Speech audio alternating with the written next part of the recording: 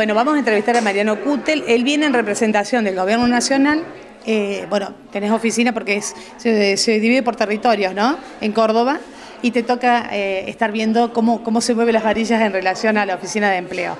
Y recién me comentaban aquí las encargadas que todo esto es un trabajo de muchos, muchos años y que además eh, van logrando cada vez mayor el apoyo de ustedes gracias al rendimiento que van obteniendo en los trabajos que realizan.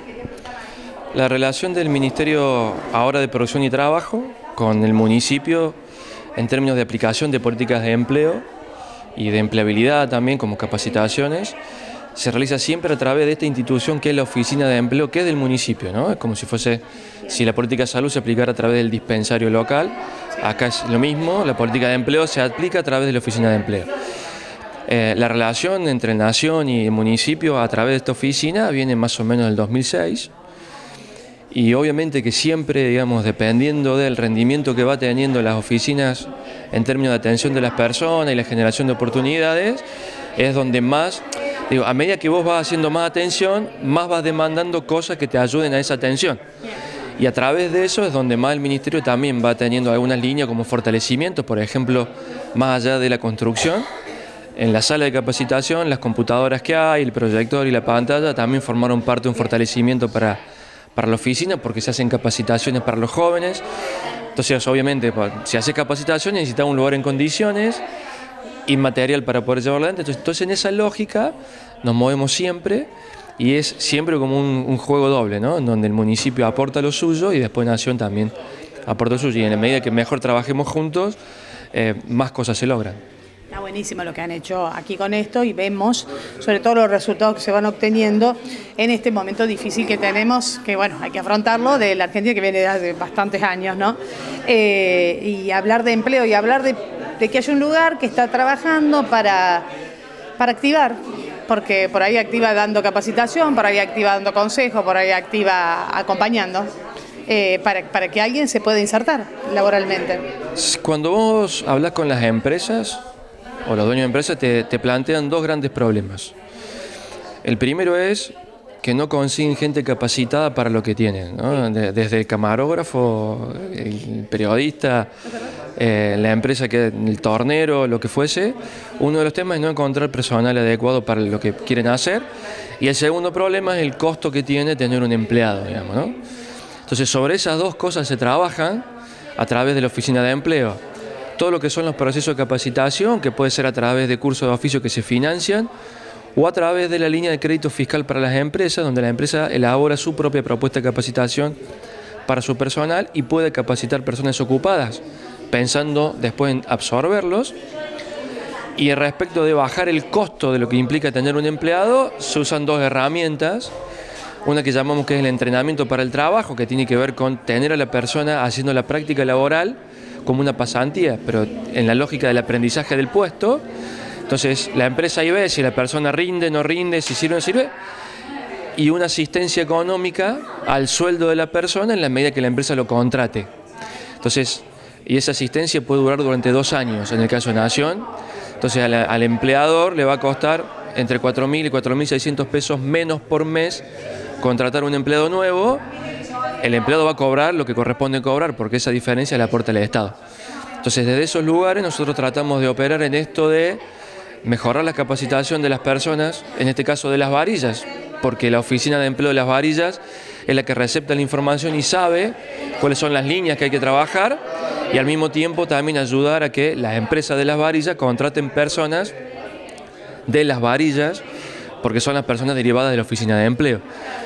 Y entendemos nosotros que desde ese lugar, a medida que las varillas crecen, crecen las comunidades que están alrededor de las varillas, que no tienen oficina pero pueden operar, y también crece la provincia de Córdoba y por consecuencia crecemos todos. Entonces, en ese trabajo articulado nosotros creemos que está la clave de todo el proceso de desarrollo y siempre decimos que el corazón de ese proceso de desarrollo son las oficinas de empleo, que son las que tienen la información de las personas, qué saben, qué no saben, para qué son buenos, cómo lo podemos orientar qué capacitación darle, con qué empresa vincularlos, qué empresa plantearles opciones de contratación de personas o, por ejemplo, capacitar gente pero para que se conviertan en prestadores de servicios de esa empresa que estaba necesitando algún producto que no lo conseguía en otro lado. Entonces, toda esa lógica se maneja desde acá y es lo que nosotros, como te decía recién, entendemos que es la mejor manera de poder avanzar en un desarrollo concreto, específico y sólido en cada localidad. Y aquí el futuro, porque me imagino que ustedes van pensando para adelante y sobre todo con este corrimiento que hay de, de los oficios, de los empleos, eh, con la aparición de la robótica. Eh, ¿Hay algunos objetivos que están planteando, sobre todo líneas de acción hacia dónde va a apuntar la capacitación? Sí, de hecho, a través del DECOL se estuvo ejecutando una capacitación que se llama 111.000, que tiene que ver con programación. Em, hay toda una línea que está trabajando mucho con ese concepto, sobre todo porque si bien vos tenés algunos sectores que están perdiendo gente en el mundo del trabajo, hay otros sectores que están demandando personal y de nuevo, no hay personal adecuado para esos trabajos. Se calcula que en la Argentina hay 30.000 puestos de trabajo que están vacíos porque no hay quien los tome, porque no están capacitadas las personas para esos puestos, que tienen que ver con programación, con desarrollo de robótica y tecnología. Entonces, se está trabajando en estas capacitaciones, 111.000 es una experiencia en ese sentido que es, son capacitaciones miradas desde el punto de vista del oficio para que la gente pueda entrar a trabajar y luego que haga la carrera de analista o de ingeniero en sistema, pero por lo menos que al principio tenga las herramientas como para poder ingresar al mundo de trabajo y no esperar una carrera universitaria, que después sí la, la haga porque a la larga siempre es necesario tenerlo pero en el fondo, digamos, estamos trabajando en estas cuestiones que tienen que ver con el impacto de las tecnologías, sobre todo porque te decía, porque hay puestos de trabajo disponibles, pero no hay quien los tome, y es, en la realidad argentina de hoy, es, casi como un pecado tener esa situación. Viste que se dieron a conocer tanto del INDEC como de la Universidad Católica Argentina los números de la pobreza. Y a veces cuando uno habla de pobreza, habla también de gente que no, no está capacitada para el mundo laboral. O sea, no es solo pensar en, bueno, en el número, en la cantidad de personas, sino en por qué estamos ahí. ¿eh? Sí, sí, sí. Por eso también es importante utilizar alguna herramienta como la línea de crédito fiscal para las empresas en términos de mejorar las competencias de las personas que ya están trabajando, porque eso te posibilita generar la escala. O sea, ascendes en la escala laboral y da espacio para aquellas personas que no han ingresado. Imagínate que eh, muchas de esas personas, digamos, no están en condiciones de adquirir trabajos calificados. Pero digamos, como el caso de la municipalidad que nos enteramos hoy con el intendente, ¿no? De alguien, Marcela. Exactamente, que ingresó en, una tarea menor, digamos, de ordenanza y luego a través de sus estudios pudo crecer en otra función. Bueno, ahí liberó un espacio para una ordenanza nueva. Entonces, eh, tenemos que trabajar esa lógica de la, progresión ascendente de las personas, que generen los espacios para que aquellas personas que no están en condiciones eh, puedan tener esos primeros trabajos y hacer esa carrera que le permita avanzar. Y aparte, no solamente económicamente, porque obviamente cambiar de espacio y de tarea repercute en lo económico, sino también personalmente, porque uno siente que progresa, que me parece que ese gran problema que estamos teniendo hoy en la Argentina, digamos, no tenemos esa sensación de progreso entonces a veces se te hace muy difícil convocar a los jóvenes para que se capaciten, porque lo primero que te preguntan es ¿para qué? Entonces si nosotros logramos infundir ese concepto de progreso, no te van a preguntar para qué, te van a preguntar en qué. Y ahí ya ganamos una batalla bastante importante. Ah, bueno. Eh, ¿Siguen preocupando este sector de los ni, de los nini, viste, que ni trabajan ni estudian? Sí, y, en eso... ¿Todo Córdoba? Toda... sí. Y en eso hay que entender dos cosas, digamos. Lo primero es que más allá de lo que tenga que ver con la política de empleo, eh, también el sistema educativo está atravesando una crisis importante. Nosotros, desde el lado nuestro, siempre vemos que el sistema educativo en realidad tiene una pequeña falla que es no te preparan para el mundo del trabajo. Te forman para determinadas cosas, pero no tenés el ejercicio del trabajo. Es más, de hecho, ni siquiera la carrera universitaria, digamos, te recibís y recién ahí empezás a ver cómo se trabaja específicamente en el campo en el que te preparaste.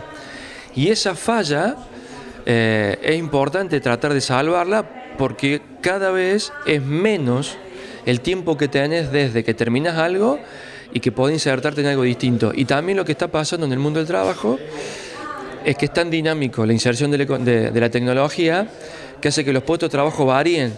Entonces hoy pensarte que puede entrar a trabajar como hace 20 años atrás, 30 años atrás, en una fábrica y que va a estar 30 años en esa fábrica, ya no existe más. Entonces, si no pensás en tu capacitación permanente para insertarte en otros lugares, o inclusive, como, como ha pasado en muchos casos, en donde entras en una empresa y a, a los 5 o 6 años te armas la tuya propia porque te das cuenta de lo que está faltando y generas por tu lado. Bueno, eso es lo que nosotros vemos que desde el sistema educativo está fallando, que no está presente y es necesario hacer esa articulación, no desde lo verbal, sino de lo fáctico que los chicos que estén en el último en secundario, en la primera universidad, hagan algún tipo de práctica laboral. Eh, rentado o no, no importa, lo que importa es que sepan de qué se trata. Sí, sí, Tiene muchas decepciones porque por ahí también está lo individual, ¿viste? Eh, están toda la gente, mira ahora esto es fantástico que se ha hecho gracias a la nación y a la municipalidad, sin embargo hay gente que no está a la altura de la propuesta. Bueno, una de las tareas que tiene la oficina de empleo tiene que ver con las entrevistas de las personas, armar lo que se llaman sus historias laborales, que eso para nosotros es clave, eh, y eso permite perfilar a las personas, ¿no? porque no todo el mundo tiene el genio o el carácter o el gusto por las mismas cosas. Yo siempre digo que si eh, yo trabajo en esto, pero si a mí me manda una clínica no entro ni, ni a tres cuadras, me paro, digamos. Entonces, eh, hay que trabajar mucho la orientación laboral de las personas para que vos puedas hacer una vinculación real y que sea fructífera. Muchas veces nosotros nos equivocamos con la idea de ayudar rápidamente a alguien y los terminás derivando una tarea que no, no se siente cómodo y ahí perdés tiempo con esa persona, pero también perdés tiempo con el empleador que lo está tomando. Entonces, es muy importante tener esa, esa tarea, esa actividad de saber identificar perfiles, gustos, preferencias, intereses, que es una tarea importante y muy difícil muchas veces porque hace falta un diálogo permanente con las personas, pero bueno, esa es la función de la oficina de empleo, entonces eh, por eso uno celebra mucho que estas instancias estén en los municipios y que se construya y tenga un espacio de atención mucho más adecuado a una entrevista personal, como el, el de hoy, eh, porque ayuda mucho a eso de no perder el tiempo y no hacerle perder tiempo a la gente. Y sobre todo no perder energías, porque eh, la frustración que uno, a ver, así como sentís una felicidad muy grande cuando alguien que vos estuviste viendo y hablando y vinculándolo entra a trabajar, también tu frustración es grande cuando no logras que eso pase. Eh, entonces, la idea es tratar de que no haya frustraciones, sino que haya más éxitos, digamos, que fracasos. Muy bien, bueno, Mariana, muchas gracias. ¿no? Eh, muy linda la nota y sobre todo muy bueno que estén acompañando, como siempre lo hacen. Me dijeron que están siempre presentes. Sí, sí, sí. Bueno, es es parte de, cómo entendemos la política de empleo, digamos, la presencia, la cercanía eh, y estar permanentemente acompañándonos, más allá de que a veces discutimos algunas cosas, pero lógico, digamos, de tratar de hacer lo mejor posible siempre. ¿Vos de qué ámbito venías antes de estar en la gestión pública? Yo tenía una empresa y en alguna oportunidad trabajé en, digamos, en la parte pública, trabajé en, un consejo liberante de la ciudad de Córdoba, eh, pero mm, principalmente a través de mi empresa. Así que tenés mucha, mucha idea acerca de la dinámica de las empresas. sí, sí, y, y, lo que cuesta tener una y lo que cuesta mantenerla, así que sí. sí.